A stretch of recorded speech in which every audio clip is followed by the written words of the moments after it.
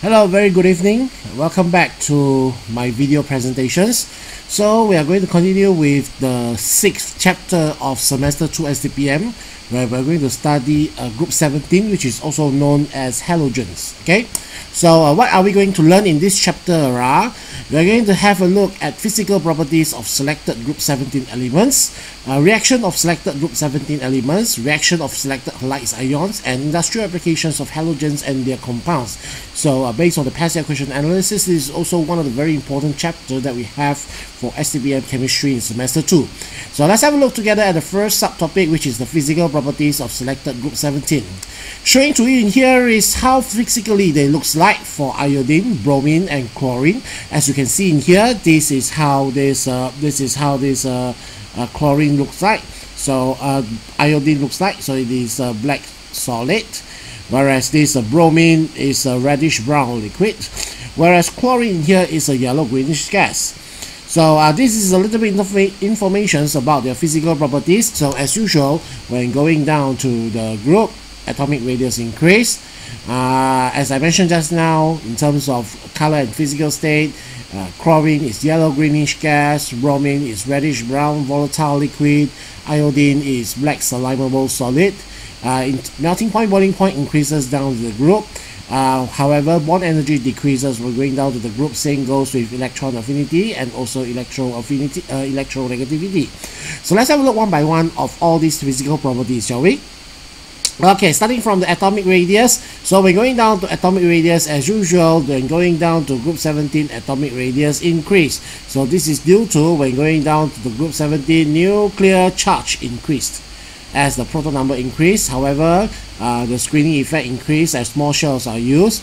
Uh, this will result the effective nuclear charge to decrease, causing the atomic radius to increase down to the group. So this is as usual every time. we have already repeat this for quite some time. Hopefully, you all will be still be able to explain the trend of atomic radius when going down to any group of it. Okay. Okay, the next thing is uh, about melting point, boiling point, physical state at room temperature, color intensity, and also density of group 17. So all group 17 exists as diatomic molecules. So you have fluorine exists as F2, chlorine Cl2, bromine Br2, iodine I2, and astatine At2. So physical state, uh, as you can see in here, they have very different physical state in, uh, even though they have the same classifications of element. So uh, that is why, uh, because due to their different forces that holds in between them. Okay, so generally we say that when going down to group 17, melting point, boiling point increases down chlorine, bromine to iodine as the relative molecular mass increase from chlorine to bromine to iodine cause the weak van der Waals forces that hold in between them increases. So as a result, the melting point increase uh, down group 17 for each element, hence they exist as a different physical form okay? So uh, in here at the same time whenever we're talking about weak intermolecular forces we're also going to see on how close packed they become be so if you flashback on the diagrams that we see just now so this is how uh, per unit volume of iodine looks like. You can see how close packed they are. Bromine is slightly loose whereas iodine is very loose. So eventually it causes not only the uh, density to increase when going down to the group. We also consequently cause the color intensity to increase down to the group. So that is why you can see the, the color become darker and darker as we go down to the group. Okay, so uh, same goes with the explanations for the volatility of the molecule. So we generally we say is that when going down to group 17, volatility decreases due to the strong intermolecular forces of the particles. Hence, they are harder to vaporize. Okay. Okay, uh, then we have uh, look at the electronegativity, bond energy, and electron affinity. So electronegativity measures the ability to pull the bonding pair electrons towards the atom. So um, electronegativity of the group 17 decrease when going down to the group due to the increase of covalent radius, hence decrease the effective nuclear charge. So we say that fluorine has the highest electronegativity among, uh, among all group 17. Actually, it's among all elements inside the periodic tables uh, for information. So uh, it is the most uh, easily attracting electrons of all elements in here. So uh, bond energy measures the heat required to break the bond formed between two atoms. So as we say is that all group 17 exists as a diatomic molecule and eventually they are held by uh, covalent bond. So the energy required to break this one is measured in such way. So for example, if you want to break two chlorine in here to become two chlorine gaseous atom, so it requires a positive 242.5 kilojoule per mole.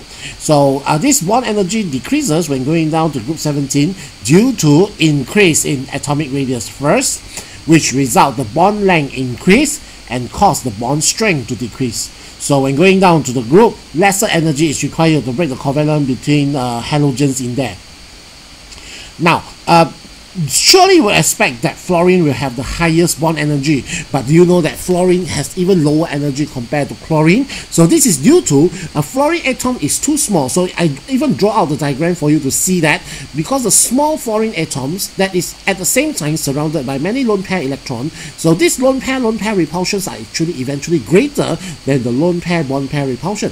So as a result they repulse themselves uh, greater and causes the fluorine covalent bond to break easier. So that is why as, uh, in here we expected that uh, this uh, fluorine will have a lower bond energy compared to chlorine in here. Okay, Okay, and then we also have electron affinity. So electron affinity is a heat liberated when one mole of gaseous atom accepts one mole of electron to form gaseous anion under standard condition. So this is the general equation for the reaction. So we use fluorine example. F plus E minus give F minus. So we say that electron affinity become less negative also due to the decreasing of the effective nuclear charge as the electrostatic uh, forces between weaker become weaker when going down to group 17 so you expect that lesser heater lesser heat is um, released when going down from fluorine until iodine okay and then we are going to talk about solubility of halogens in water. So uh, halogens are slightly soluble. Uh, most of the so, uh, halogens are soluble in water. Uh, among them, fluorine, of course, is the most soluble because uh, not only because of the enthalpy change of hydration of fluorine is very exothermic, because fluorine can also form hydrogen bond with water. So this is a very important chemistry that happens in between fluorine and also water. So now both chlorine and bromine are considerably soluble in water to form an acid and acid halide via disproportionation reaction. So uh, when while iodine is sparingly soluble in water. So this is the half. Uh, this is the chemical equation to show the disproportionations of the uh, chlorine and bromine when going down to the group. So why do we say that it is a disproportionation reaction? So you can see that the oxidation state of chlorine changes from zero to become minus 1 of the HCl and plus 1 of the HOCl. So oxidation and reduction occur in the same time. So that is why we call this as a disproportionation reactions. Now, and this reaction cannot be done under ultraviolet condition. Why? Because um, the well-known HXO in here is actually used frequently as a bleaching agent. However, these bleaching properties can be decomposed when exposed to sunlight, especially to ultraviolet light actually. So where it decomposes to become a HCl and also O2 for example. So uh, eventually, if we compare between these two equations, we can write an overall equation of 2Cl2 plus 2H2O give 4HCl plus O2. Iodine aqueous solution can be prepared by dissolving uh, iodine in potassium iodide aqueous solutions and form a brown liquid. So this is the uh, equation for the reaction to take place. So they are at equilibrium in between iodine and iodide ions uh, aqueous solutions. Uh. So uh, in here, we also use to see the effect of the organic solvent when a halogen is dissolved in them. Now it seems like uh, halogens are more soluble in organic solvent rather than, than in water because uh, don't forget all halogens are non-polar molecule. So when they are non-polar molecule, they are more soluble in non-polar solvents such as CCl4 itself. So these are the color when chlorine, bromine, and iodines are dissolved in CCl4 and also in aqueous solution. So in aqueous solution, chlorine is pale yellow, bromine is brown solution, iodine is also brown, but the iodine brown is a deeper brown for informations. Whereas when chlorine dissolves in CCl4, uh, it is colorless, bromine is still brown, iodine is purple. So I'm going to show you one of the diagrams that shows the uh, differences between uh, CCl4 and also uh, this one. Now I, I believe that in here you can see that the color a little bit lighter because concentration in here are actually quite low. So but still you can still see a very distinguished color in between them. So uh, below layer is for water, above layer is for organic solvent. Yeah. Okay, so uh, this is the physical properties of group 17. Okay, so I'll start my lesson for right time being. We continue later on with the chemical properties. See ya.